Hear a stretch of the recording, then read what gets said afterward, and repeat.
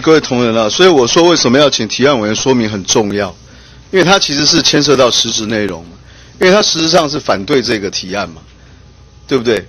所以我们在这边为什么那么坚持要希望我们就程序来做处理？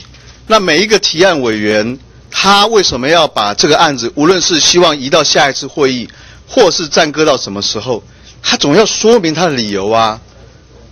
难道我们的要求没有道理吗？你看吴委员一讲，他反对公民投票啊，他就是因为反对公民投票，所以他要往后去搁，搁到什么时候不知道啊，对不对？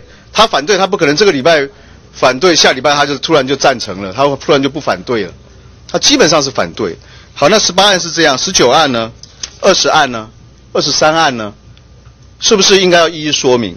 所以我要再一次请这个主席同意啊，提案委员能够在上。上来替这个接下来这几个案子能够再一一条一条做说明，好不好？谢谢。